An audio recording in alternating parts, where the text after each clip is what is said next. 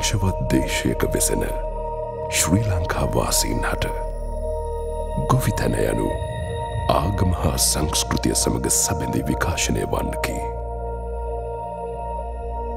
අප මුතුන් මිත්තන්ගෙන් රජවරුන්ගෙන් පැවතේන ගොවිතැන අදටත් ශ්‍රී ලාංකිකයින්ගේ මූලික ජීවනෝපාය වන්නේය.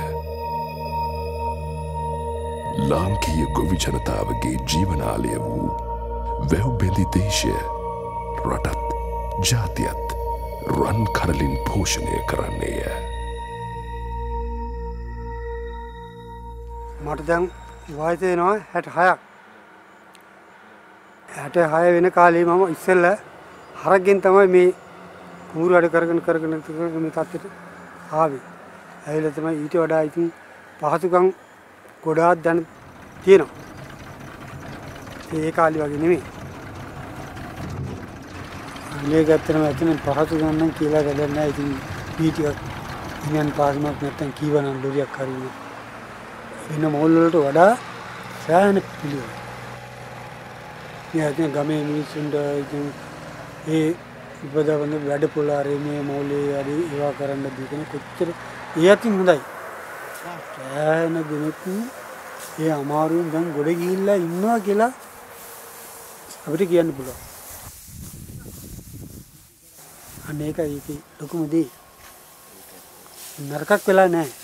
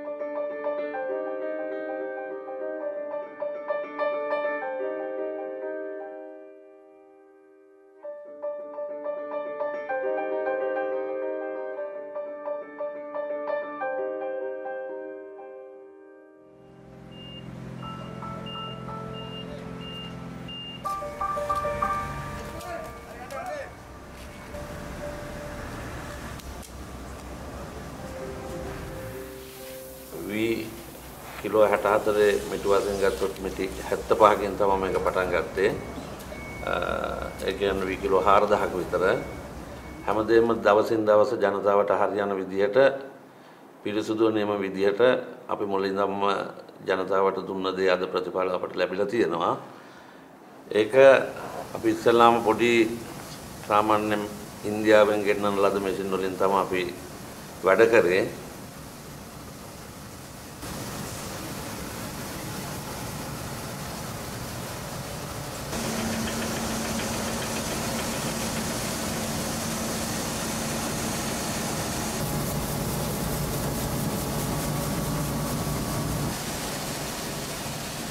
නමුත් අද තාක්ෂණය දියුණුවත් එක්ක අද අපි බොහොම ඉහළ තත්ත්වයේ මැෂින් ගෙන්නලා හාල් නියම තත්ත්වයට එන්න ඒ කියන්නේ පැය 18ක් වගේ ඇතුළත මෙතනින් අපි යොමු කරන වී ඇටේ පැය 18කින් හාල් බවට පත් කරනවා. මේ ව්‍යාපාර මෙතෙන්ට දියුණු වෙන්න ඉස්සෙල්ලාම අපට අතිහිත දෙන්නේ වී ගොවියා. ඊට පස්සේ වී ගොවියන්ගෙන් මිලදී ගන්න ඉන්නවා එතන මැද පිරිසක් වශයෙන් ඉන්නවා ඒ ගම්මාන වල ඉන්න වී මුදලාල්ලා. එතකොට එයා වී ටික රැගෙන තමයි අද අපි ගාවට එන්නේ. ඊට පස්සේ ඒකේ අනිත් පැත්ත තමයි අපි සහල් නිෂ්පාදනය කරලා අපේ අනිත් මුදලාල්ලා එක්ක අපි ඉන්නවා. එතකොට රටේ දෙපැත්තක් එක්ක ඉන්නවා. ඒ කියන්නේ ව්‍යාපාරිකයොත් එක්කත් ඉන්නවා, ගොවියොත් එක්කත් ඉන්නවා. ඉතින් ජනතාවගේ විශ්වාසය අපි කෙරෙහි තියෙනවා නම් එක ගල් ඇටයක්වත් හැපෙන්නේ නැති විදිහට වැලි යටයක්වත් හැපෙන්නේ නැති විදිහට පිරිසිදුව ඒ කියන්නේ හරි බර ආකාරව කිලෝ 10ට මාසයක් තියෙද්දි අඩු වෙන බරත් ඇතුල් කරලා අපි හරි ආකාර නියම කිලෝ 10 බෑග් එක ජනතාවට යන්න විශ්වාස වශයෙන් අපි ඒ කටයුත්ත කරලා තියෙනවා. එතකොට අපි පළවෙනියෙන්ම ස්තුතිවන්ත කරනවා ගොවියට ඊට පස්සේ අපි ස්තුතිවන්ත කරනවා අපිත් එක්ක ඉන්න මුදලාල්ලාට සහ අපේ සහල් විකුණන මුදලාල්ලා එක්ක. එතකොට මේ සියල්ලගේම විශ්වාසය රැකෙන විදිහට හොඳ සහල් ඉදිරියට මේටත් වඩා හොඳට දෙන බවට අපි බලාපොරොත්තු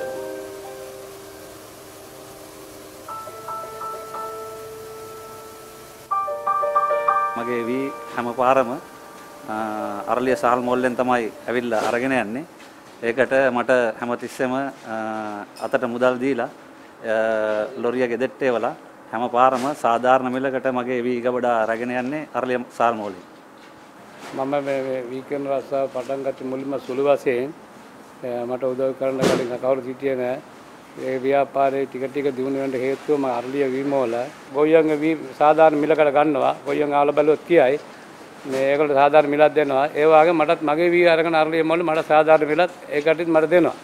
ඉදිරියටත් මම ඒ අරලිය මොළ සමග මේ ව්‍යාපාරය වැඩි වශයෙන් කරන්න යන්න මම කල්පනා මේ මගේ අදහස තියෙනවා.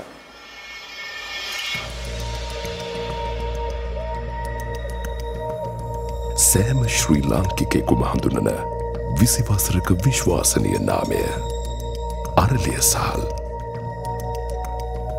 දීපව්‍යාප්ත වූ බෙදාහැරීමේ ජාලාවෙන් සුපිරි වෙළඳ සැලේ සිට සුළු පරිමාණ ව්‍යාපාරයම් දක්වා අප ඔබයා කළේ සහල් වෙළඳ පොලේ ප්‍රමුඛයන් ලෙස හඳුනමිනි.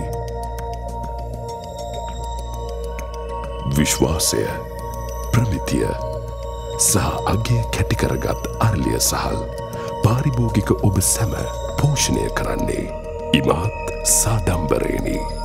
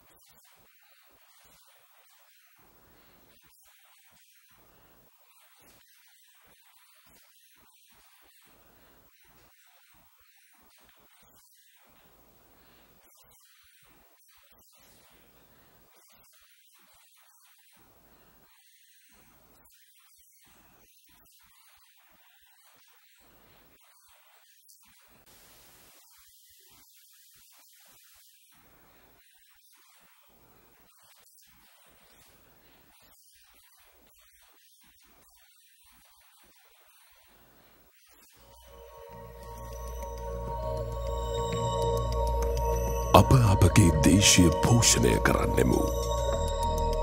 අප අපගේ සහල් ගොවයා උපනන් වන්නෙමු. සෑම ශ්‍රී ලාංකිකෙකුටම අපගේ සේවාව මතකය ආවර්ජනය කරවන්නකි. වී සහල් කරනේ පරිපූර්ණත්වය අගයමින්. ලාංකික ගොවියන් තුග සහල් වෙලෙන්දන්.